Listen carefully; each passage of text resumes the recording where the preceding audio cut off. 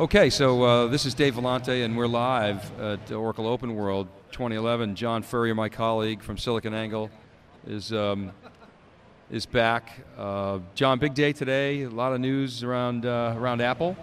A lot, a lot of a lot of no news, right? A lot of news that there's no well, iPhone the, the 5. big news the big news with Apple is there's no iPhone 5. Um, we got that, and uh, Apple. Obviously, we all love Apple, and everyone's been been on the Apple bandwagon. Greatly, well deserved. No Apple iPhone 5. That's the big news. But they did introduce the Apple 4S.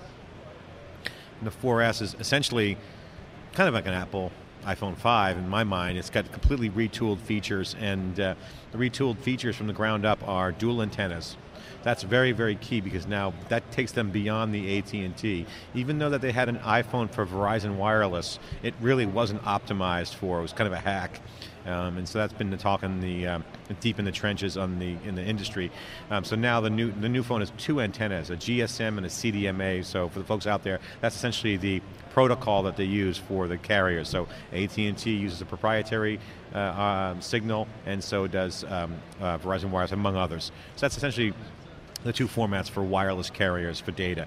Um, the other thing is that, that I love about this product is absolutely no brainer that the 1080p video is phenomenal, um, phenomenal upgrade, um, and that's going to be make things completely different, especially for the younger generation where they're going to have video.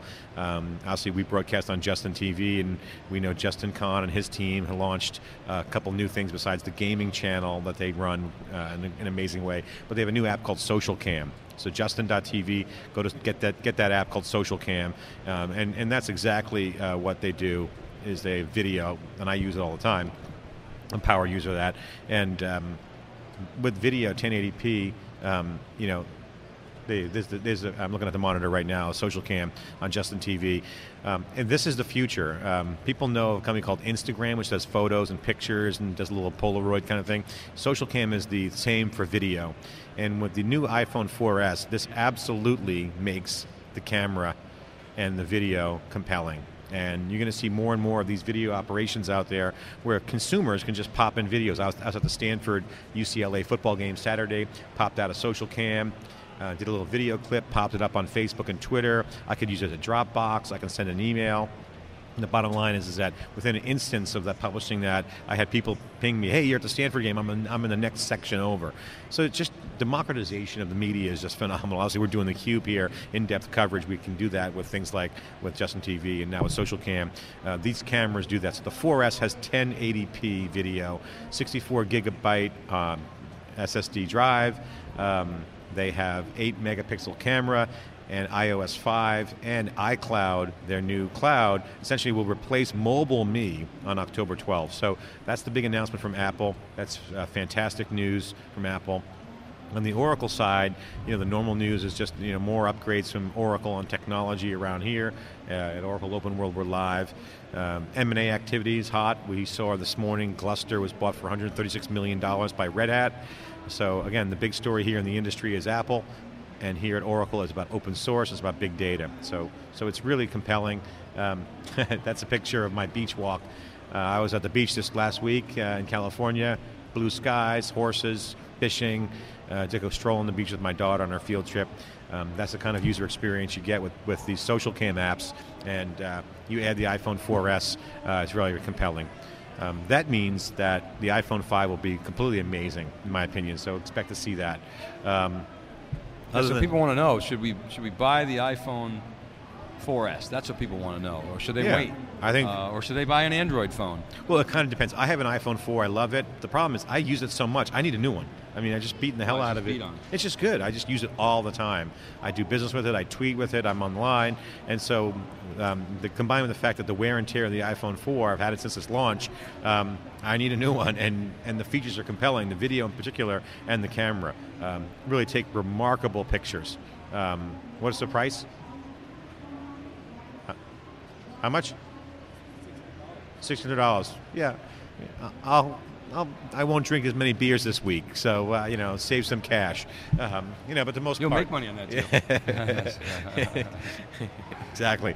Uh, you know, it, it costs some cash. Uh, it's six hundred dollars. I mean, you can look at the, what the, these tablets are going for. I mean, it's just pricing netbooks and. Um, has priced the uh, Air, Microsoft. I mean the uh, MacBook Air. I mean you can get a MacBook Air for uh, you know nine hundred dollars. So, you know it's expensive, but it's worth it. Um, so some Oracle announcements today, like 8,000 of them just hit the uh, hit the inbox. I'll just go through some some of them. Obviously, a lot of keynote stuff going on. Oracle previews next generation Oracle application development framework, mobile. So this is something we've been waiting for, John. At Sapphire, we heard a lot of, of, of CIOs and others talking about wanting to develop an application platform, uh, an app store for the enterprise. We've been questioning where where is Apple, or where is uh, Oracle in mobile. We know where Apple is. Um, and so announcements today around Where's. Oracle in mobile? Nowhere. I mean, that's the story for me at Oracle Open World is the fact that uh, you know Oracle is nowhere with mobile. Their mobile pavilion has six non-players, um, no real presence. Unlike SAP at their keynote, SAP had significant mobile announcements. They talked about in-memory analytics with HANA. Oracle countered that here with a big announcement with their uh, Exalytics, which is their Exadata and their analytics platform. Um, but Oracle clearly has work to do, and I think next year you'll see major movement Well, for Oracle on mobile. I mean, obviously Oracle's mobile strategy is around Java, right? I mean, they own Java, but um, you know, we're talking about previewing next generation Oracle application development frameworks for mobile. I think you're right. I think it's a year away before we see any real Well, I mean, Dave, you, you, you know, you gave some really good uh, um, analysis and insight around Oracle.